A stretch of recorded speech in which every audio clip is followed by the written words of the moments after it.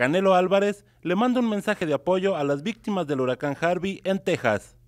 Quiero aportar y obviamente invitar a, todos los que, los que puedan, podamos unirnos a esta causa, cooperar con lo que se pueda y, poder ayudar a, a toda la gente de Texas.